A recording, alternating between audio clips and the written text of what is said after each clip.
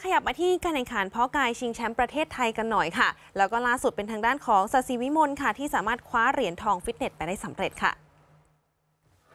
การแข่งขันกีฬาเพาะกายชิงชนะเลิศประเทศไทยค่ะ ถ้วยรางวัลพระราชทานจากสมเด็จพระกนิษฐาธิราชเจ้า กรมสมเด็จพระ พระเทพรัตนราชสุดาสยมสยามบรมราชกุมารีนะคะ ประจำปี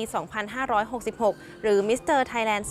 2023 ที่เวสต์เกตฮอลล์ศูนย์การค้าเซ็นทรัลเวสต์เกตเมื่อวานนี้ก็เริ่มแข่งขันกันเป็นวันแรกค่ะ ไฮไลท์เนี่ยอยู่ที่ประเภทฟิตเนสชายค่ะ แชมป์ก็ตกเป็นของกิตติพันธ์ขันทองค่ะ จากทีมกายวีที่มาในธีมสไปเดอร์แมนนี่เลยค่ะ นี่ซึ่งการโชว์ของเจ้าตัวนะก็ออกมาได้สมบูรณ์แบบค่ะ ทั้งเรื่องของความแข็งแรงของกล้ามเนื้อ แล้วก็ความยืดหยุ่นของร่างกายค่ะโอ้โหมีตีลังกาอุ้ยด้วแล้ยวอะปล่อยใยด้วยนะเมื่อกี้โอ้โหเขามีอ้กิมโชมิว์กหานะไหมนี่เอเอออสไปเดอร์แมนเมืองไทยนี่นะคะแล้วก็สามารถชนะใจกรรมการไปได้ในครั้งนี้ค่ะส่วนอันดับ 2 ค่ะตกเป็นของราชวัตรแก้วปัญญาค่ะ จากทีม Active อ่า Active Life Team แล้วก็อันดับ 3 ค่ะตกเป็นของยงยุทธผลจันทร์จาก Ultra b o ค่ะ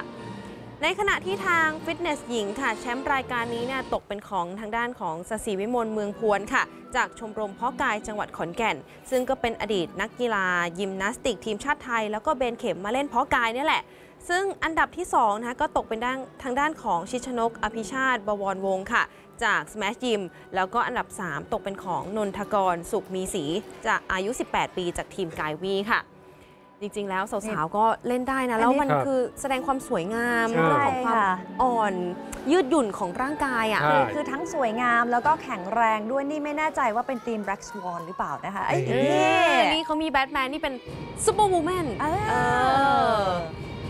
ก็ได้แสดงถึงเรื่องของความสวยงาม แล้วก็ไอเดียด้วยนะค่ะเออแต่ว่านอกเหนือจากนี้ค่ะยังมีอีกหนึ่งความน่าสนใจนะคะ ในการแข่งขันครั้งนี้เนี่ยก็หนีไม่พ้นนักกีฬาที่อายุน้อยที่สุดนะค่ะที่หลุดเข้ามาถึงในรอบชิงชนะเลิศนั่นตัวคืเล็อกคนนิดเดียวนี้เลยน้องนี่นะคะ อารินรดาอารามเรืองค่ะ วัยเพียงแค่ 9 ปีเท่านั้น โอ้โหโอ้โหชอบสีผมน้องจังเลยอะค่ะ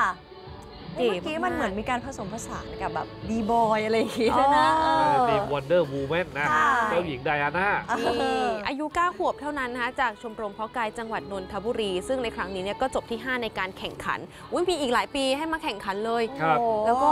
นี่9ขวบได้ที่ 5 นะ ค่ะโอ้โหก้าวเดี๋ขยววบเข้ารอบชิงได้อะ อุ๊ยใช่ไม่ธรรมดา ไม่ธรรมดาแล้วดูนี่ความคล่องแคล่วแข็งแกร่งของร่างกายนะคะ แล้วเนี่ยพอฝึกตั้งแต่เด็กนะ ค่ะ เรื่องของกล้ามเนื้อมันก็ยังมีความยืดหยุ่น แล้วก็ใช่ ความแข็งแกร่งก็ยังสามารถพัฒนาได้อีกนะคะ